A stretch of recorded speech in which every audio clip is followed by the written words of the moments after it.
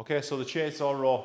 So what we're going to try and do here is um, provide stability through our standing legs as opposed to working on a bench or working on something that's going to prop us up. So you need a nice strong stride. Hamstrings are going to take most of the weight along with the hips at the top, the thighs.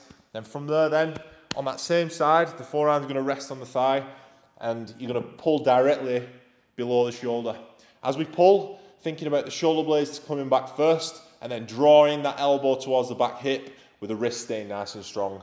So as we pull, we should be able to take a fair amount of a fair amount of weight as we pull the weight up. So as we pull, keeping the uh, the uh, the jaw relaxed and the chin untucked.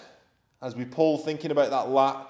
Also, a point to add at the top of the row is think about turning the hip in towards the shoulder and the shoulder towards the hip so that we can get even more tension going through that lat.